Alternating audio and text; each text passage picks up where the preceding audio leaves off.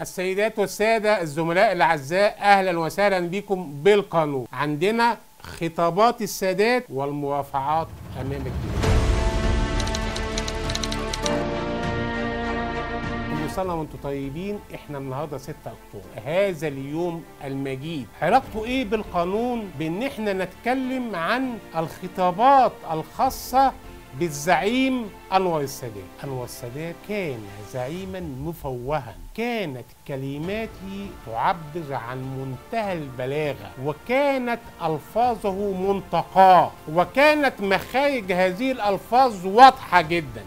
الكلام دوت ما كانش صدفة. الكلام دوت كان من خلال علم ودراسة لأن الزعيم السادات من بدري قوي كان يشتغل ويعمل بالسياسة. وانتوا عارفين بأن هو كان متهم في قضايا سياسية هزت الدولة في ذلك الوقت. وكان يتعلم على يد الأستاذ الكبير المسرحي العظيم زكي طليمان يتعلم إيه؟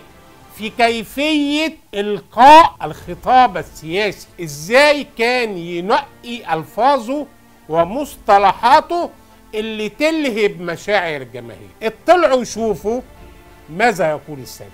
كلمات السادات تختلف عن كلمات أي زعيم تاني. كلمات السادات وألفاظه ومصطلحاته تعتني بدقة بوصول المعلومة بأقصى الكلمات إلى وجدان وليست أسماع.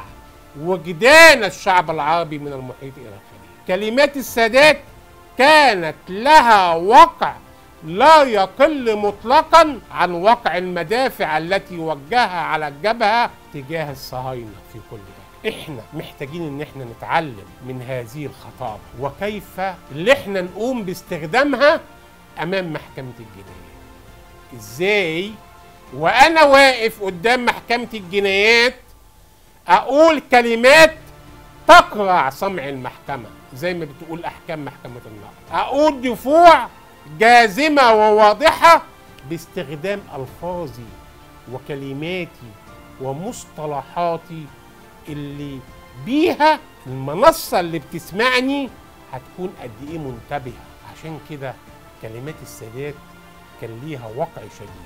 اسمعوا في الحتة دي هو بيقول إيه؟ وبيتكلم إزاي عن مدى آه الانتصار وعن مدى إن إحنا كنا فين وبقينا فين والعزة اللي حققتها لنا حرب أكتوبر المجيده لقد كان الليل طويلا وثقيلا ولكن الأمة لم تفقد إيمانها ابدا بطلوع الفجر.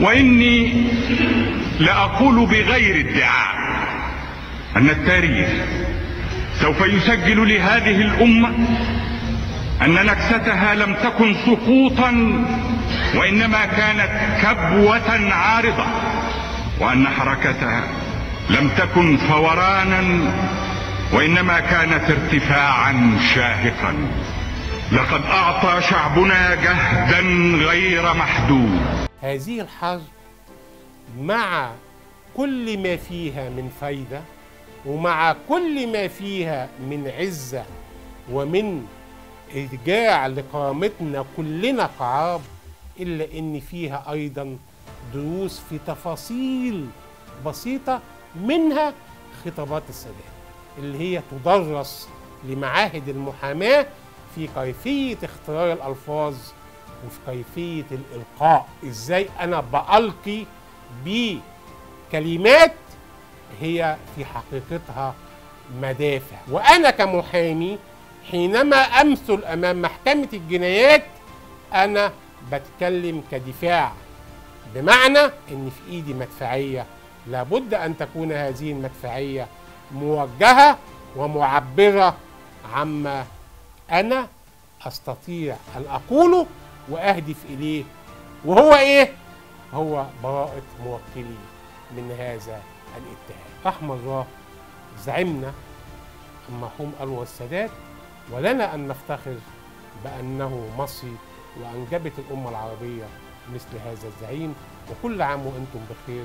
وكانت هذه الكلمات بمناسبة نصر أكتوبر المجيد ومرور خمسين سنة على هذا الانتصار العظيم. شكرا جزيلا. واهلا وسهلا بكم في حلقات أخرى. بالقادم